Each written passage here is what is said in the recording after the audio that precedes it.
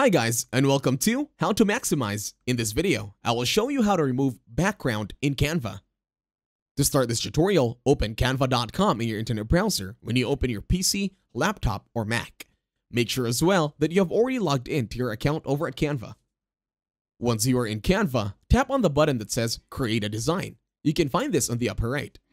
On the search bar this time on the upper right, you're going to click on Instagram Post. We will use this as a default template.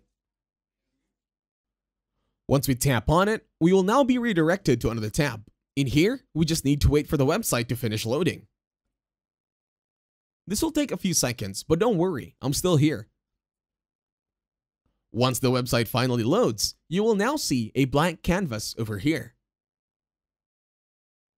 Now once you hover your mouse over at the left side, you can now choose elements. In here, we will use one as an example.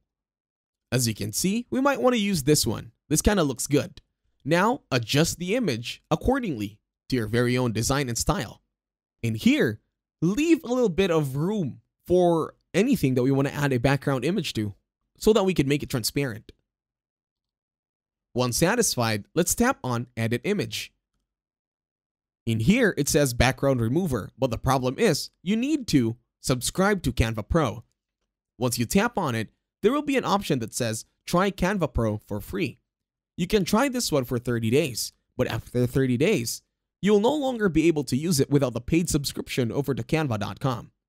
Once we tap the button, over here, we can now choose either yearly or monthly, depending on what you want to use.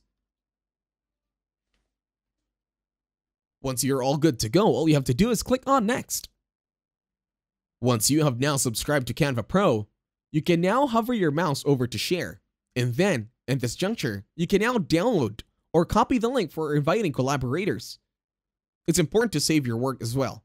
And that's it. Thank you very much for watching. Leave a like, share, and subscribe to the channel.